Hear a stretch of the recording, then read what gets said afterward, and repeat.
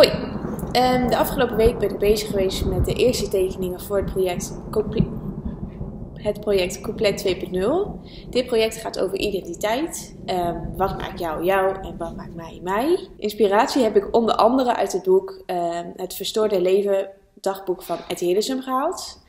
En zoals dit stuk wat Essie nu gaat voordragen. En hier ook omdat ik zelf uit zoveel mensen besta. Dat is ook iets eh, waar ik graag deze, dit project over wil doen. Dat eh, je identiteit is natuurlijk super fluïde. Je bent niet dit of dat of zus of zo. Je bent al die dingen tegelijkertijd en het hangt net van welk moment af uh, welke je naar voren brengt.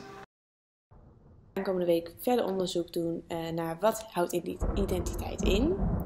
Um, heb je zelf um, een identiteit? Laat het weten in de comments.